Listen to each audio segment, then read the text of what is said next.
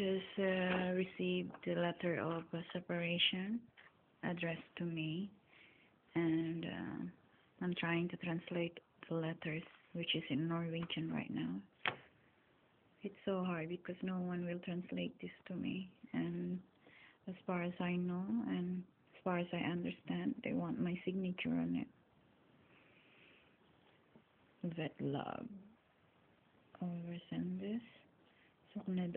Separasjon, fylkesmannen har mottatt fra Vidar Halvorsen.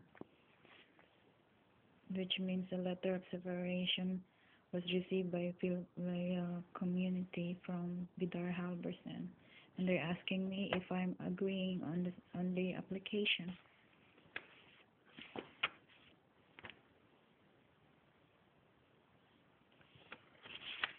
So, I'm not sure what will happen. Will happen now?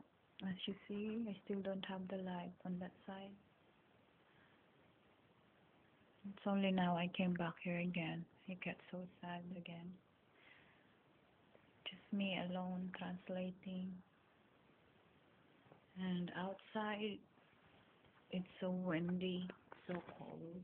I just got back from work.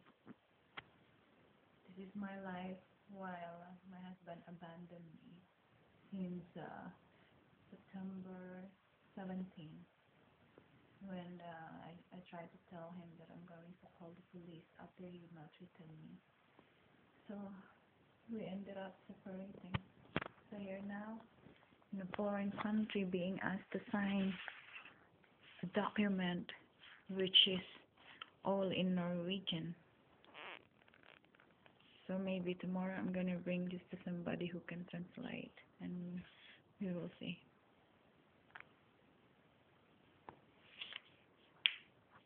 Oh, life in Norway.